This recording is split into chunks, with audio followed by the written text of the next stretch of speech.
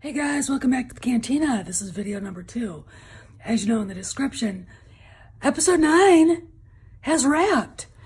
And uh, pictures, basically just kind of things from the wrap party came out from uh, Daisy Ridley's uh, uh, uh makeup artist. And JJ uh, was on Twitter with a picture of Daisy Ridley, John Boyega, and Oscar Isaac hugging you know, no no sign of a Adam Driver anywhere. And uh, of course, all the Reylos start freaking out.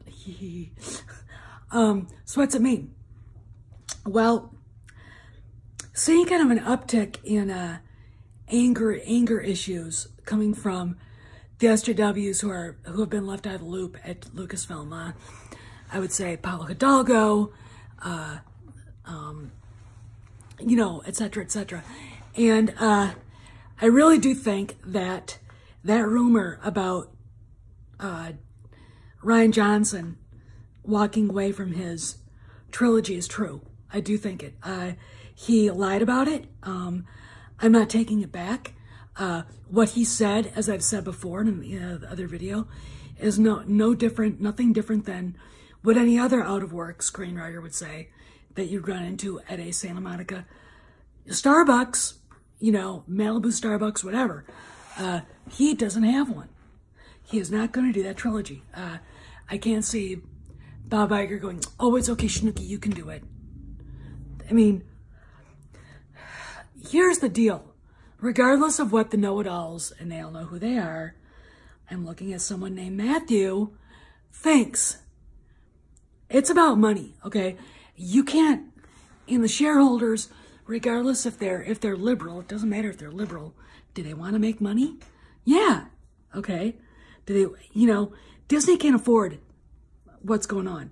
Because let me tell you, there's there's already a feeling that they're uh, basically uh, kind of dumbing down the uh, opening of uh, Galaxy's Edge because no one's going to want to go to it. I mean, who wants to go to a theme park that's Star Wars and not see any Star Wars characters? Han, Luke, Leia, Vader, Chewbacca, uh, the Emperor, you know, I mean, this all, they went about it all wrong. And it, it's just, it's literally going to bite them on the ass.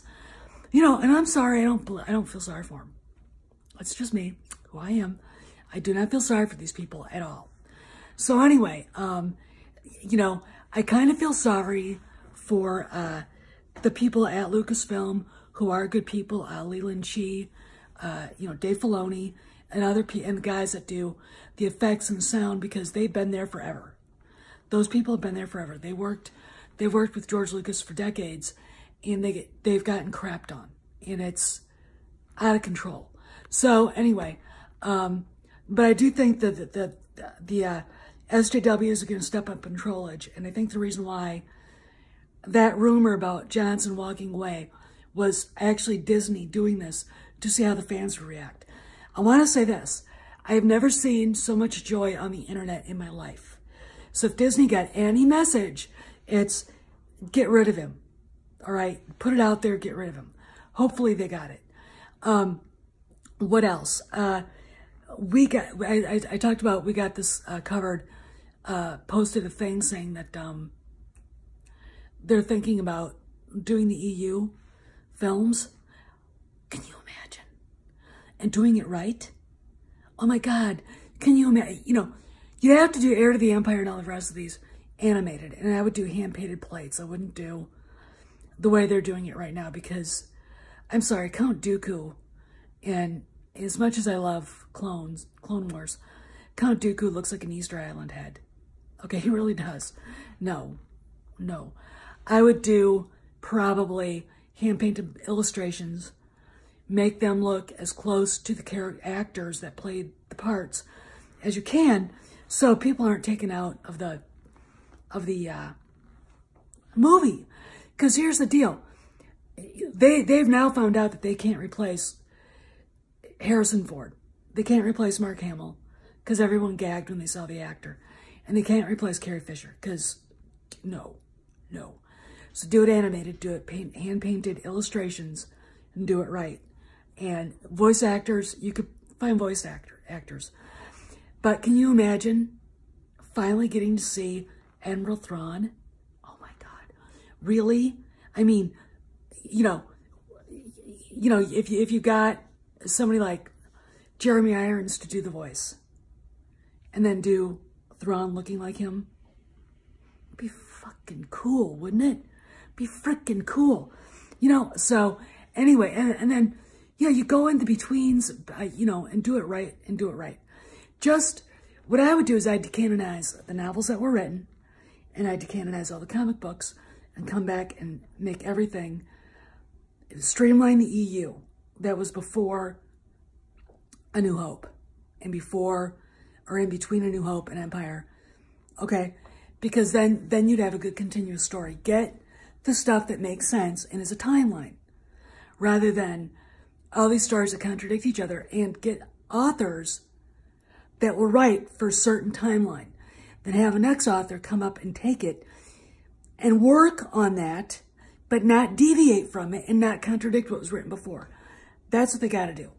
And it will be great. But anyway, um, what else? Uh, you know, so what I'm going to say is uh, they, they wrapped, like I said, they wrapped episode nine today.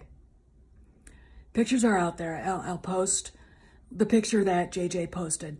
Um, a lot of people are at, are tweeting at JJ, good luck, man. You're going to need it. Uh, they've been filming since the 1st of August last year.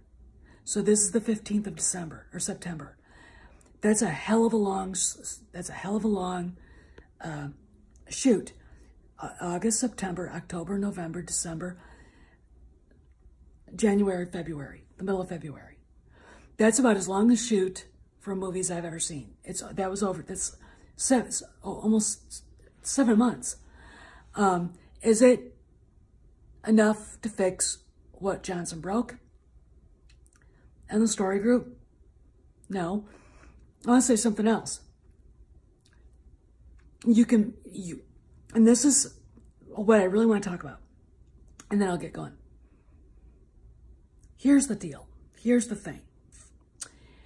I think that there are people that working that are working at Lucasfilm, like at Pablo Hidalgo, shows that don't that aren't on the inside but are like consultants that would rather see episode 9 crash and burn and the entire franchise destroyed than say they were wrong and walk away.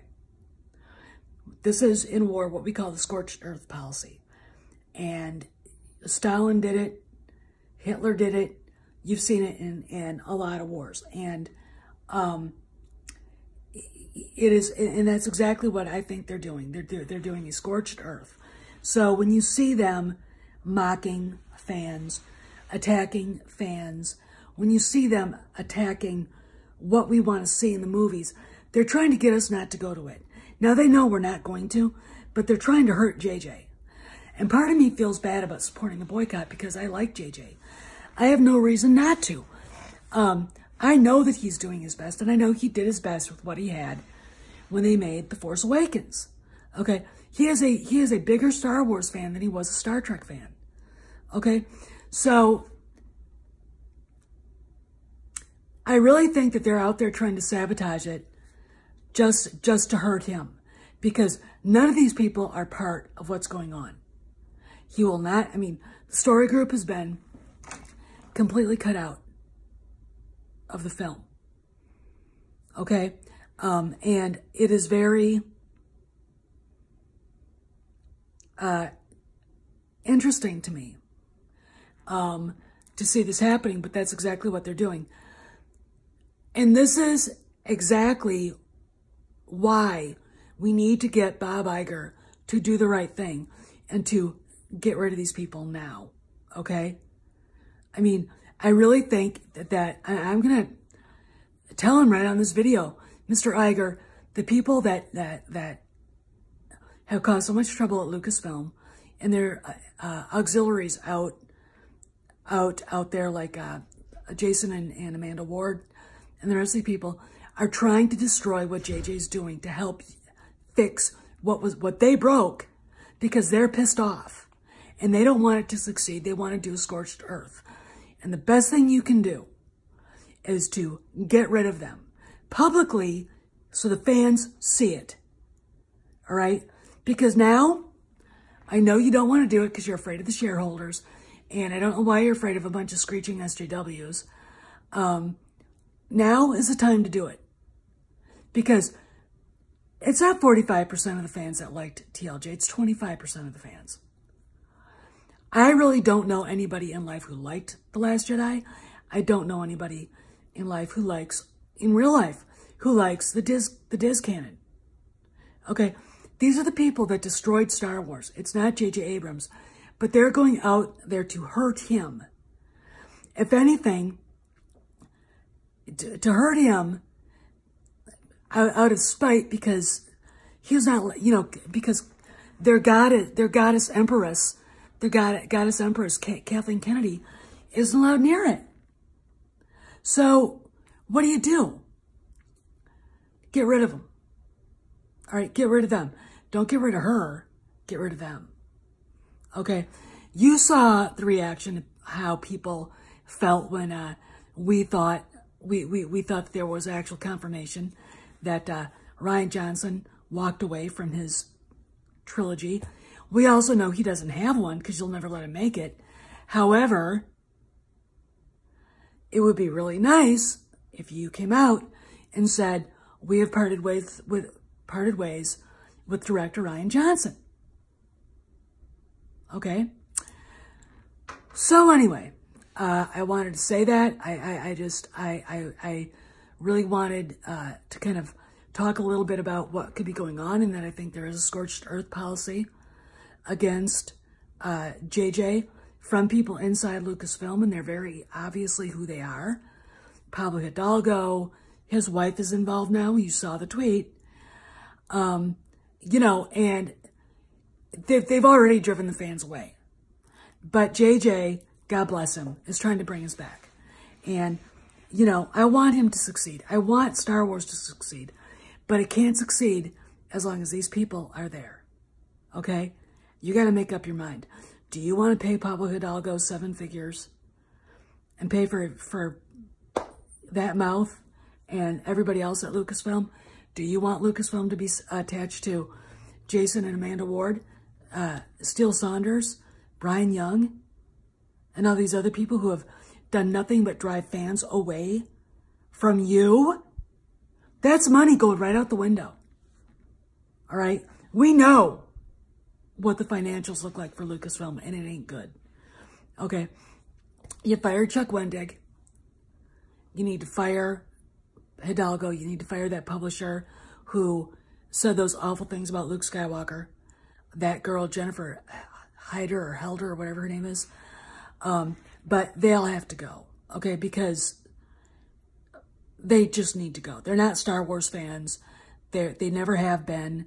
Um, you know, and hey, you know, in the like in the movie Ready Player One, a fan boy can see can see her can see a hater coming. We can, they're, they're haters. They're not fans. They're haters. And it's time for you to step up and do something to help salvage something from, uh, you know, this, this franchise. All right.